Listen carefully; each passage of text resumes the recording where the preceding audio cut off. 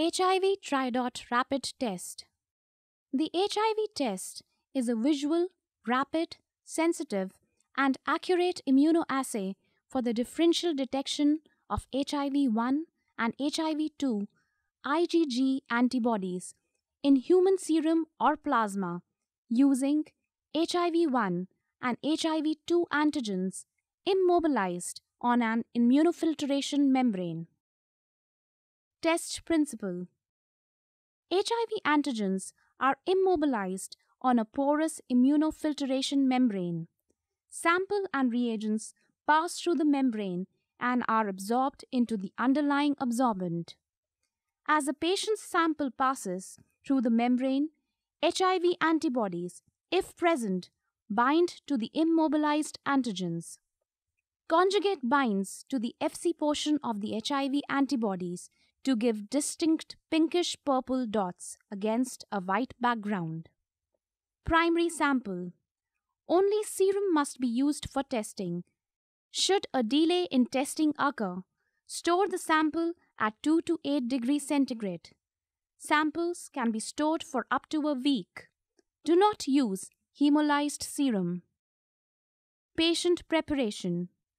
No special preparation of the patient is required prior to specimen collection by approved techniques. Type of container and additive. Collect 2 milliliters of venous blood in a plain red topped vacutainer. Reagents and consumables. HIV Tridot test device. Buffer solution. Protein A conjugate. Sample dropper. Safety precautions. The use of disposable gloves is strongly recommended while running the test. In case there is a cut or wound in hand, do not perform the test.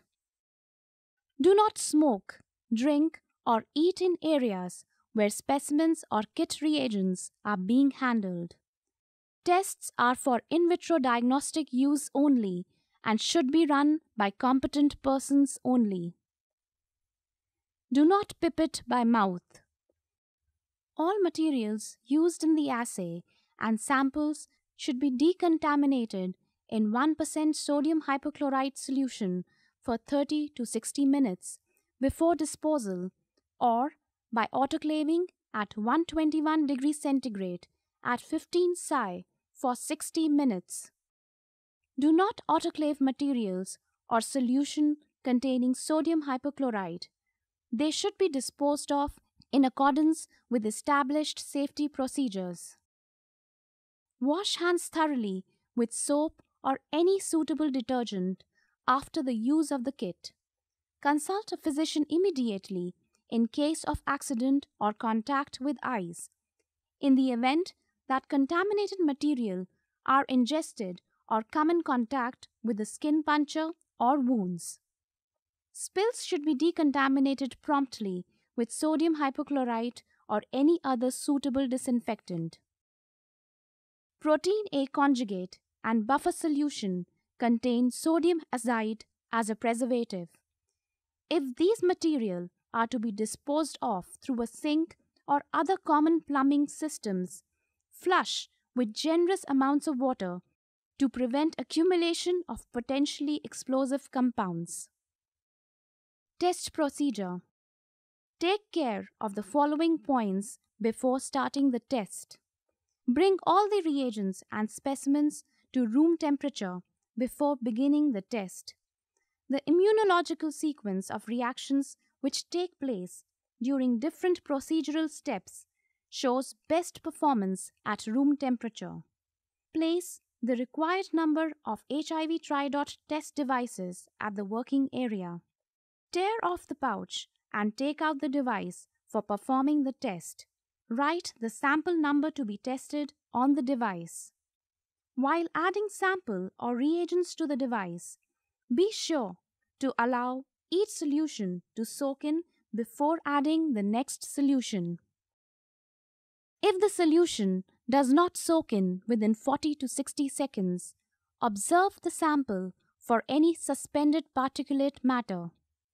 If it is present, centrifuge the sample at 10,000 rpm for 15 minutes and use a fresh device to rerun the test. All solutions and samples should be added to the center of membrane. For consistent results, ensure free falling of drops on the membrane. Do not use kit components beyond the expiration date. The procedural sequence of reagent addition should be strictly adhered to avoid any discrepant results. Add 3 drops of buffer solution to the center of the device. Hold the dropper vertically and add 1 drop of patient sample using the sample dropper provided. Use a separate sample dropper for each specimen to be tested. Add 5 drops of buffer solution. Add 2 drops of liquid conjugate directly from the conjugate vial. Add 5 drops of buffer solution and read results.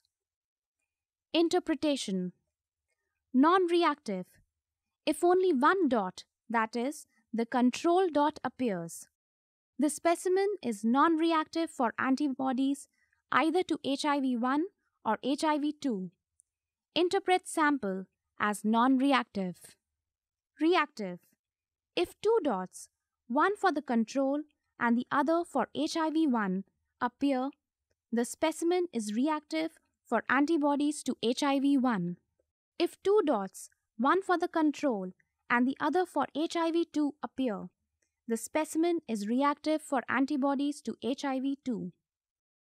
If all the three dots, one each for control, HIV1 and HIV2 appear, the specimen is reactive for antibodies to HIV1 and HIV2.